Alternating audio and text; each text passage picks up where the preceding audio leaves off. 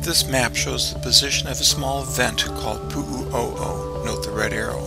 It is along the flank of Kilauea. It has erupted continuously since January 3, 1983.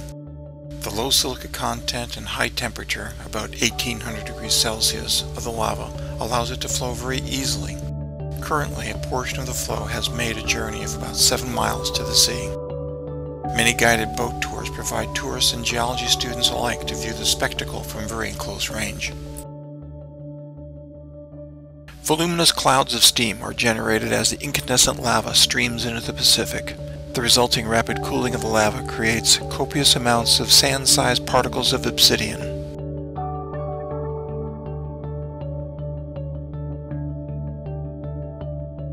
Occasionally, Solidifying blocks of hot basalt can be seen floating on the surface of the water.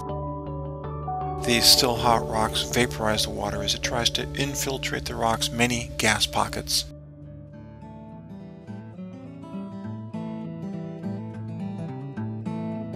A steadier view of the spectacle can be reached by hiking about two miles out to the flow.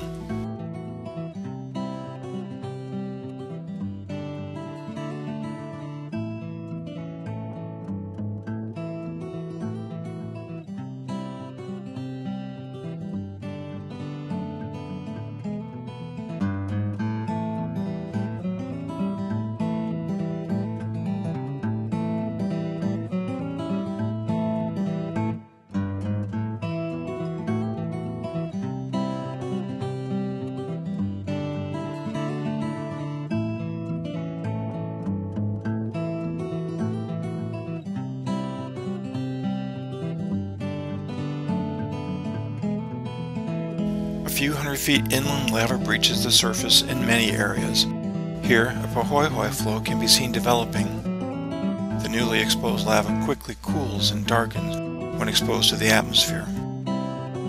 As the lava flows downhill, the cooler still plastic crust folds and folds again to produce a ropey texture in this Pahoehoe flow.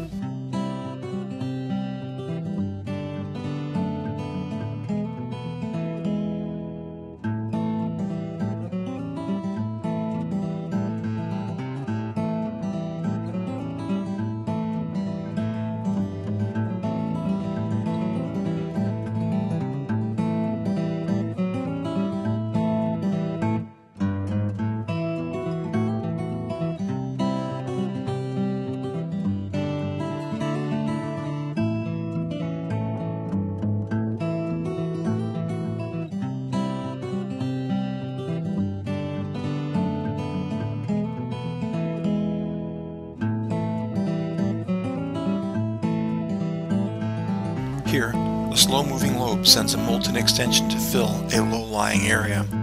It is close enough to be prodded and sampled.